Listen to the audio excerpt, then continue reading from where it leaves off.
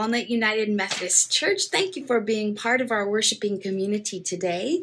You might figure out that we are having a different kind of service today. We are blessed by our um, wonderful lay speaker today, uh, Carol Coy. She will be delivering the message today. And so I get to play your liturgist today from my office at home. Uh, a few announcements before we get going, and that is uh, tomorrow, Monday, is our preschool board meeting. Uh, the March 15th at 7 p.m. So make sure you're uh, on Zoom at 7 p.m. I also wanted to um, announce and um, uh, invite you to be a part of our um, our one year anniversary of COVID service, which will be next Sunday.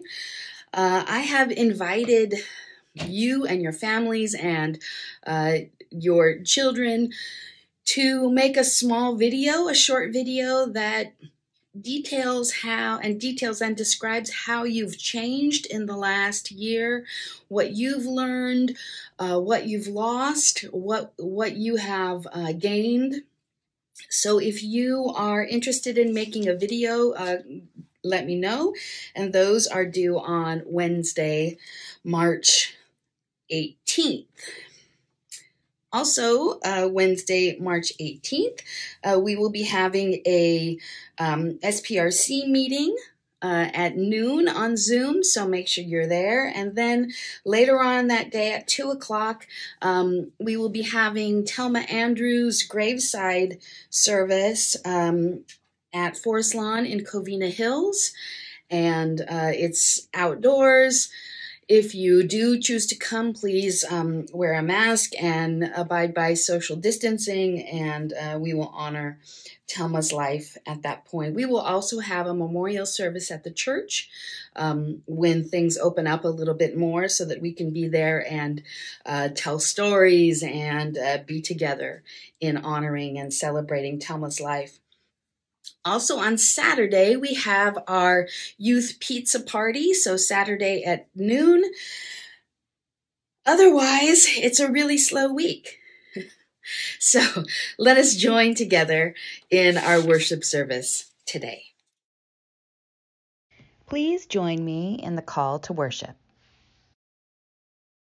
Look around at this wondrous world. God's mighty acts in creation are magnificent. Come, let us offer praise and prayer to God. Let us celebrate all God's goodness, for even in the midst of the horrible storm, God is with us. Amen.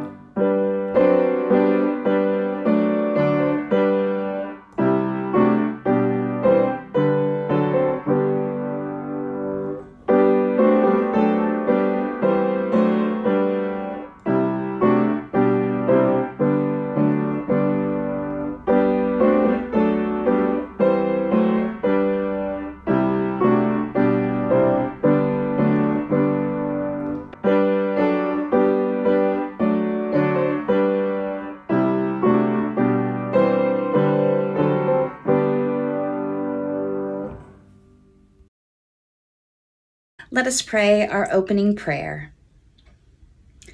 Lord of diversity and union, we call upon you this day to open our hearts to your love, our ears to your words, our eyes to see the needs of those both near and far, and our spirits to do your will. Be with us and give us courage and inspiration for the future of your world, O Lord. Amen.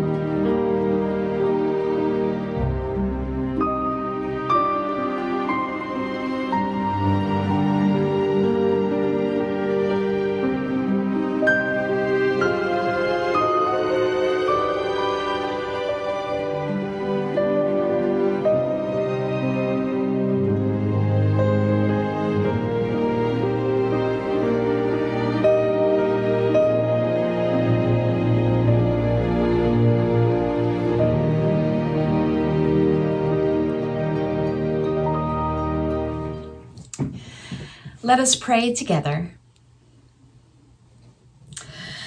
Oh God, we pray for all of our brothers and sisters around the world who have been affected by the coronavirus. For those who've tested positive, those awaiting results, family members and friends of those affected and those who have died. We pray for all of those in the medical field, doctors and nurses, staff, janitorial services, food services, all those who work in hospitals and doctor's offices and urgent cares and care facilities for the elderly, rehabilitation centers, and those in care homes for vulnerable adults. We pray for our essential workers and all who are on duty for us. We pray for all of those who have lost jobs in this crisis for all who have been furloughed and laid off. We pray for the small businesses who've closed their doors. We pray for those who are looking for new opportunities. Open doors for them and help them to persevere. We pray for our teachers and our parents and our children as the school year continues to present challenges both in online school, in hybrid school, in in person school. We pray for all of those who are going back into class for their safety and protection. We pray for those who are living and working communally, for those living and working in our prison system, for those who live in college dorms, for those who work in close quarters and are vulnerable to infection we pray for those with addictions and anxiety and depression, mental health issues, and all of us as we experience grief and anger and frustration. We especially pray for our young people as they navigate this treacherous time. Help us to survive each day and the next and the next until we are able to feel better, more hopeful, and more like ourselves. O oh Lord, we pray for peace and justice in our land. We pray for the halt of violence against our Asian American brothers and sisters, and we pray for the dismantling of systemic racism in our country. We pray that we are able to see one another as you see us, one human family in this world. We give you thanks for the scientists who have worked to develop the vaccines all of those who are administering them, and all of the people receiving their, receiving their vaccinations. Lord, we thank you for the miracle of science and for the people who are helping us move past, move beyond into the next phase of healing and progress. Lord, we lift up for into your care the young girl who was involved in the police pursuit in Walnut this week, and all of those who were involved in such a traumatic event, be with them. Give them healing and comfort, Lord. We pray for Pat upon the passing of her brother. And we pray for all of those who grieve his loss and celebrate his life. We pray for Judy as she continues to heal. We pray for Nellie as she prepares for a mass to be biopsied. We pray for Carol, who is home, and Ace, who is caring for her. Be with them, Lord. We continue to pray for the Peeler family and the Chamley family, and for Marilyn and Don's niece, Dusty. We pray for answered prayers from Luvi, that her lab work was all in the normal range. We pray for Damien's friend's son, who was rushed to the children's hospital with a fever and pain. Jen asked for prayers for Fred's cousin, Patty, who was in a coma from a bleeding problem. The bleeding stopped and she was able to call her sister today. Continued prayers for her healing. For Jen's cousin, Brenda, who has lupus, be with her, Lord. Jen lifts up a joy for Julie, who is doing okay after her radiation treatments, who has a long recovery. And we pray for Julie and Lori's dad, who was diagnosed with Alzheimer's and has a hernia that needs surgery. Prayers for the whole the whole family as decisions are made. We lift up Jen's friend Sharon, and we lift up a joy that Ed is doing well and is out of the hospital, and his Bell's palsy is slowly re resolving. We pray for Fred's dad, Alfred, who is recovering from his heart surgery. We pray for Vern, who was in the hospital last week, who has insomnia and dehydrated he is on the mend now, walking and talking and getting back to his normal self. Prayers for his continued progress. And prayers for Jen. We pray for all of those who are caregiving for their beloved family members. We pray for Kelly as she recovers from surgery and Bill as he is grateful for a smooth surgery this week, prayers for recovery and healing. We pray for those who are making big life decisions about how to continue in the wake of broken relationships, the end of work, retirement, and new opportunities. And we pray for the staff and patients at Padhar Hospital in India as well as those who are experiencing medical crises and financial challenges, and all who are worried and stressed and fearful. As we have offered names of people and situations which have been heavy on our hearts, O Lord, remind us also that we stand in the need of that same healing love. As we have prayed for ministries of peace and justice and for those engaged in those missions, remind us that we are also on a journey of peace and justice whenever we offer comfort and aid to others. Be with us during this Lenten se- season. Give us hearts of great joy and courage to serve you all of our days. We pray all of this in the name of Jesus Christ our Lord, as he taught us to pray when he said, Our Father, who art in heaven, hallowed be thy name. Thy kingdom come, thy will be done on earth as it is in heaven. Give us this day our daily bread, and forgive us our trespasses as we forgive those who trespass against us. And lead us not into temptation, but deliver us from evil. For thine is the kingdom, and the power, and the glory forever. Amen. Our scripture lesson today is from Matthew 6, verses 25 through 33. Therefore, I tell you, do not worry about your life, what you will eat or what you will drink, or about your body, what you will wear. Is not life more than food, and the body more than clothing? Look at the birds of the air. They neither sow nor reap nor gather into barns and yet your heavenly Father feeds them.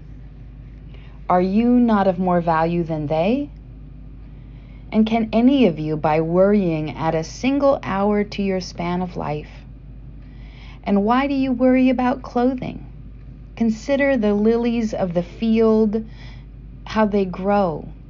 They neither toil nor spin, yet I tell you, even Solomon in all his glory was not clothed like one of these. But if God so clothes the grass of the field, which is alive today and is tomorrow thrown into the oven, will he not much more clothe you, you of little faith? Therefore, do not worry, saying, What will we eat? Or what will we drink? Or what will we wear? For it is the Gentiles who strive for all these things and indeed, your Heavenly Father knows that you need all these things. But strive first for the kingdom of God and His righteousness, and all these things will be given to you as well. Here ends the reading of the Word. Thanks be to God.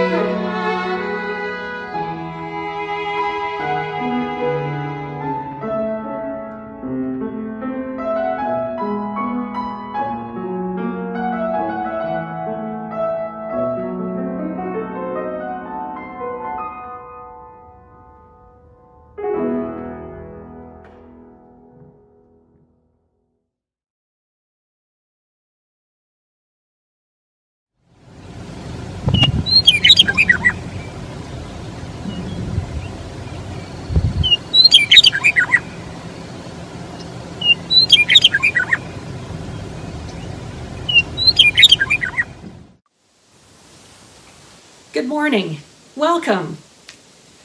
What would our world be like without birdsong? Join me for a walk through some of the birds of the Bible with a few surprises along the way. Now, some of you may remember from my lay message last year that I shared there are two big passions in my life birds and photography. And well, truth be told, birds are more of an obsession since fourth grade project. In our current world, bird watching and birding, where you probably own a field guide or two and an app, and you actually travel to see birds, is incredibly popular. How many people do you think seriously notice and watch the birds around their homes or when walking through their neighborhoods?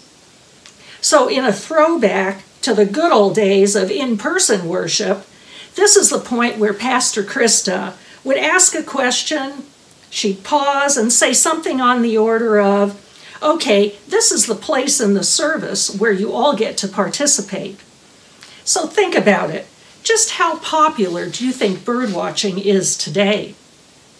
Well, you may be surprised to know that according to the most recent U.S. Fish and Wildlife report, there are over 45 million bird watchers age 16 and up in the United States. That's over 20% of our population and over 57 million people participate in feeding birds in their backyard gardens. Want to buy stock in birdseed? And it's not just in the United States, there is global interest in birds. In the UK, bird watching has even overtaken fishing as the most popular hobby.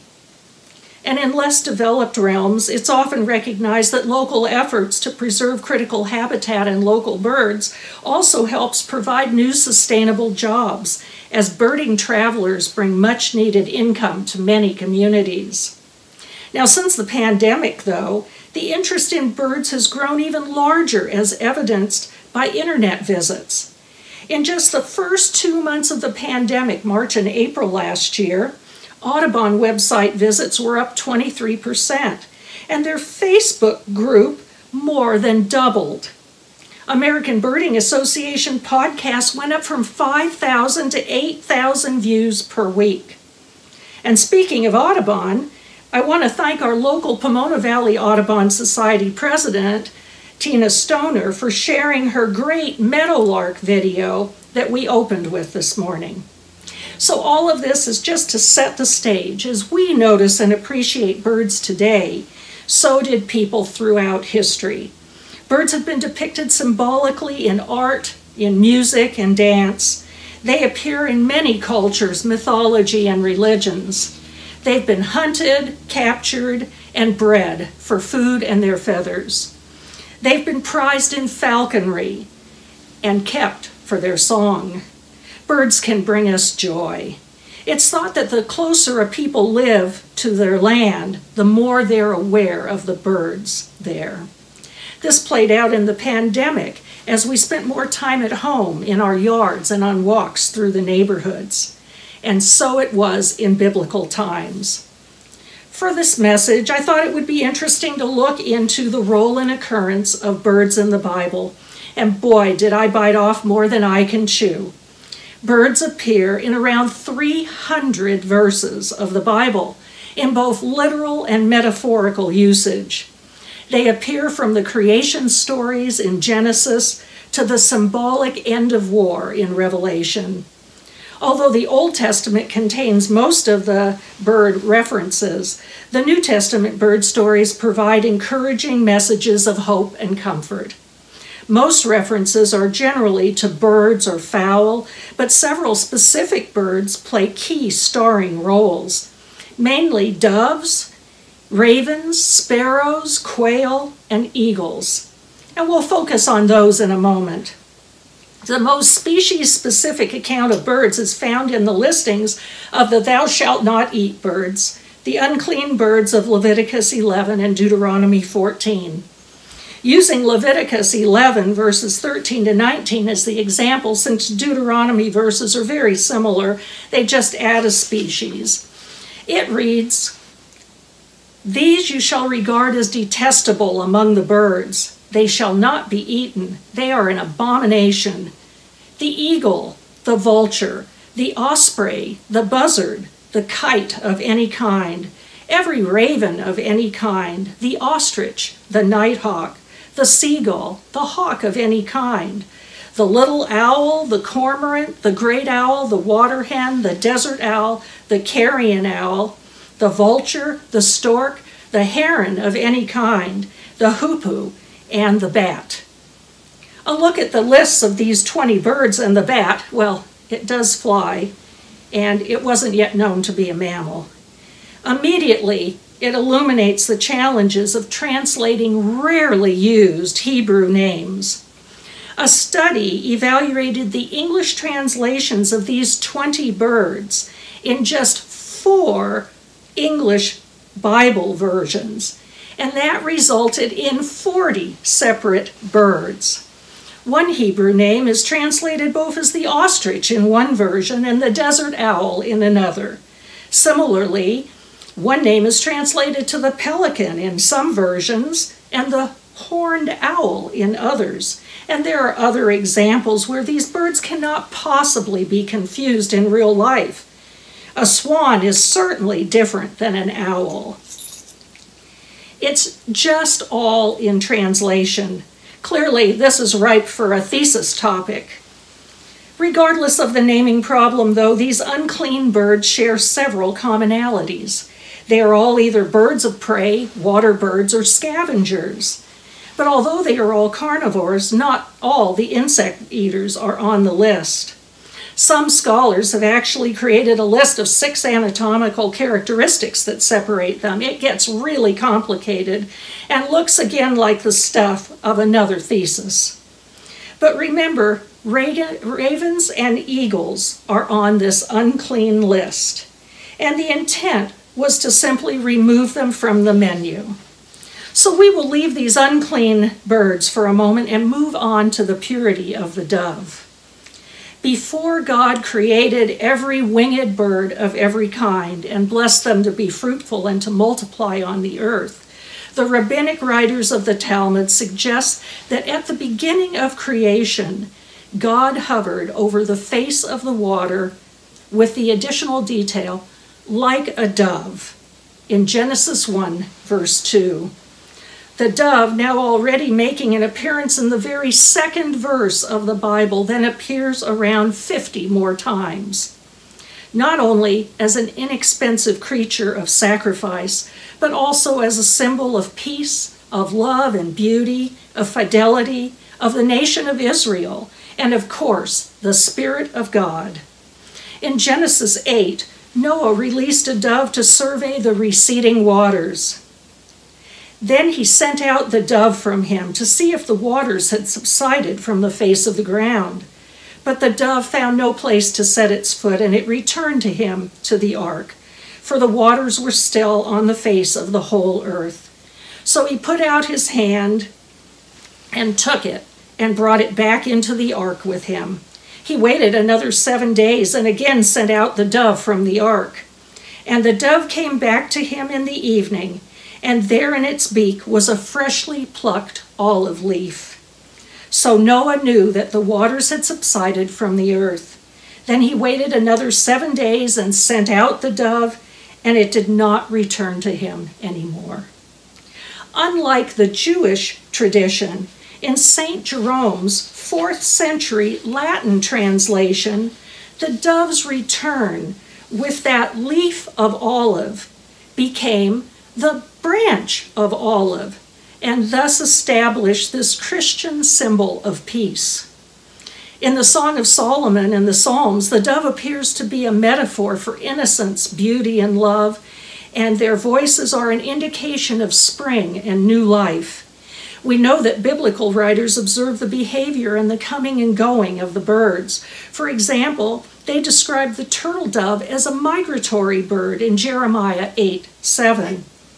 Even the stork in the heavens knows its time, and the turtle dove, swallow, and crane observe the time of their coming.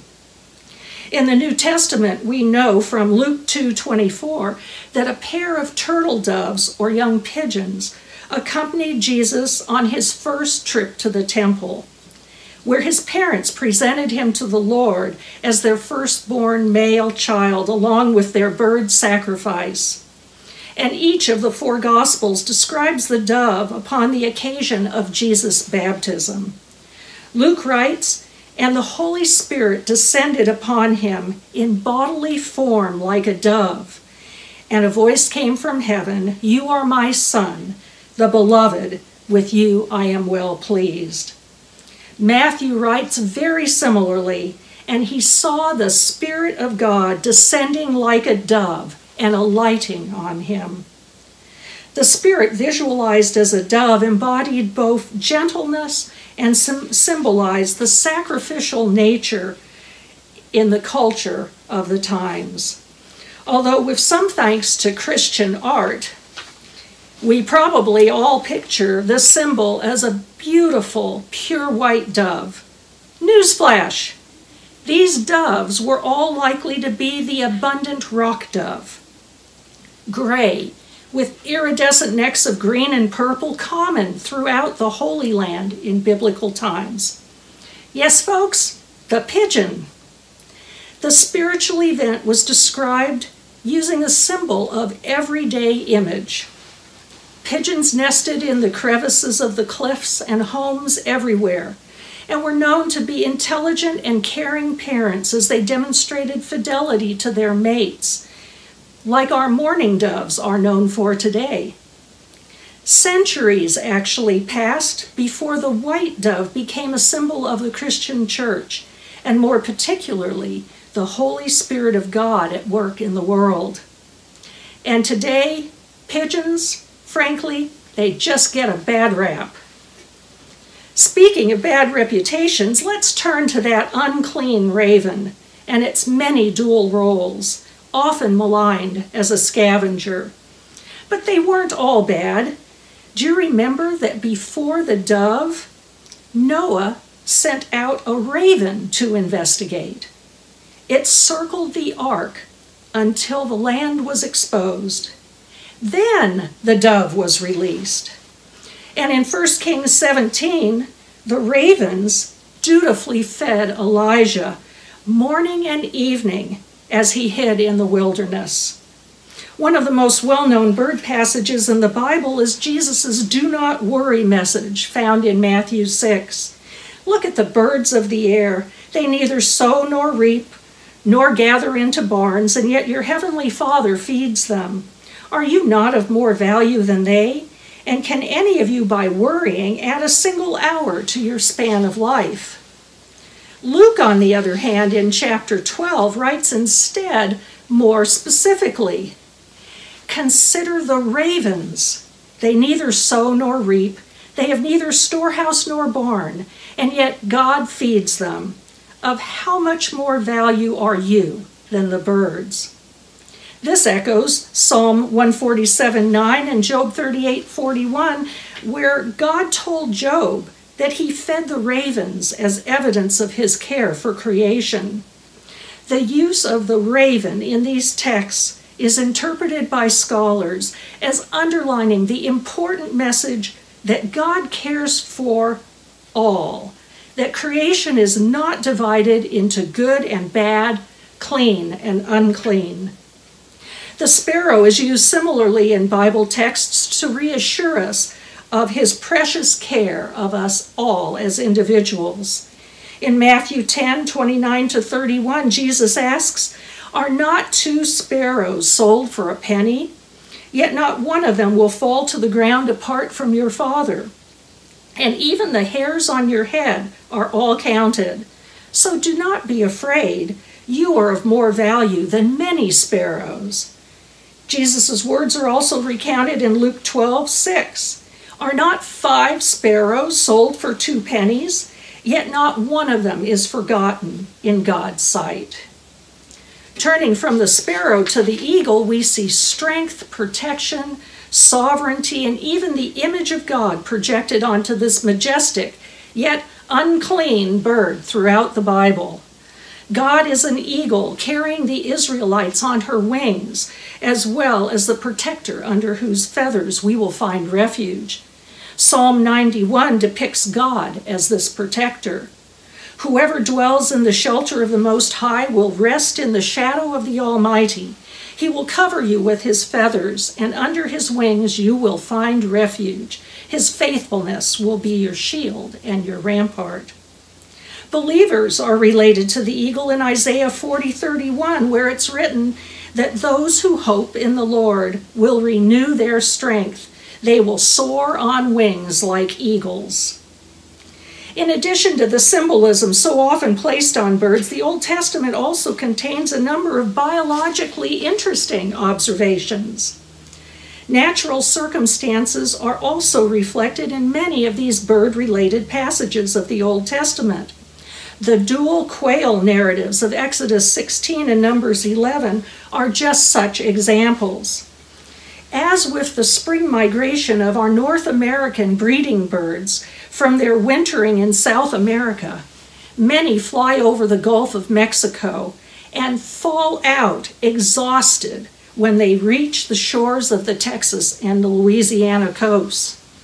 Likewise, in the Holy Lands, Quail migrate from Europe and the Middle East and Africa over portions of the Mediterranean and Red Seas. Depending on their path and the weather conditions, they arrive on Palestinian shores exhausted and even today are netted along the Gaza Strip by families for food and by hunters for market. The common quail can't fly long distances at a time, and so they try to fly with the wind and need many rest stops along the way. The Israelites would have been very familiar with them in Egypt before the Exodus. Scholars believe the first quail event occurred on the southwest side of the Sinai Peninsula in late April on the quail's northward migration out of Africa about six weeks after the Israelites left Egypt. In Exodus 16 11 13, it is written, The Lord spoke to Moses and said, I've heard the complaining of the Israelites. Say to them, At twilight you will eat meat, and in the morning you shall have your fill of bread. Then you shall know that I am the Lord your God. In the evening, the quails came up and covered the camp and in the morning there was a layer of dew around the camp. In the second event, reflected in Numbers 11, 31, and 32, approximately a year later, on the northeast of the peninsula, the Israelites were complaining about the monotony of the food in the desert. It's written, Then a wind went out from the Lord, and it brought quails from the sea and let them fall beside the camp about a day's journey on this side and a day's journey on the other side, all around the camp, about two cubits deep on the ground. So the people worked all day and night and all the next day gathering the quails. The least anyone gathered was 10 omers, and they spread them out for themselves all around the camp. Now, there's a lot of academic discussion and dispute over the numbers of quail and indeed even the number of the population traveling. But since an omer is considered the load which can be carried by a donkey, and according to the scholar J. Wilkinson, is the largest measure found in the Old Testament, it was a very large number of birds. Just imagine a minimum of 10 donkey loads per person. No matter what the true numbers, Scripture is clear. This was a miraculous feast of the common quail. Now, lastly, in Job, there are an impressive collection of very species specific bird commentary. Let's look at a quick three examples. Job, in his despair, observes his days as slipping by like eagles swooping down on their prey where he's likely alluding that cruel justice may be viewed as the eagle and Job as its prey. In addition, one of literature's most ancient references to migration is found in one of God's last questions to Job in 39:26. Does the hawk take flight by your wisdom and spread its wings toward the south? Surely the author is familiar with eagle hunting behavior and has seen the amazing sight of the several species of hawks that migrate through the Middle East. Job 39 13 to 18 presents a detailed comment on the life of the ground nesting, flightless ostrich, where it's kind of helpful if we understand multiple hens actually may lay eggs in a common nest, and some may seem indifferent to another's chick. The wings of the ostrich flap joyfully, but they cannot compare with the pinions and feathers of the stork.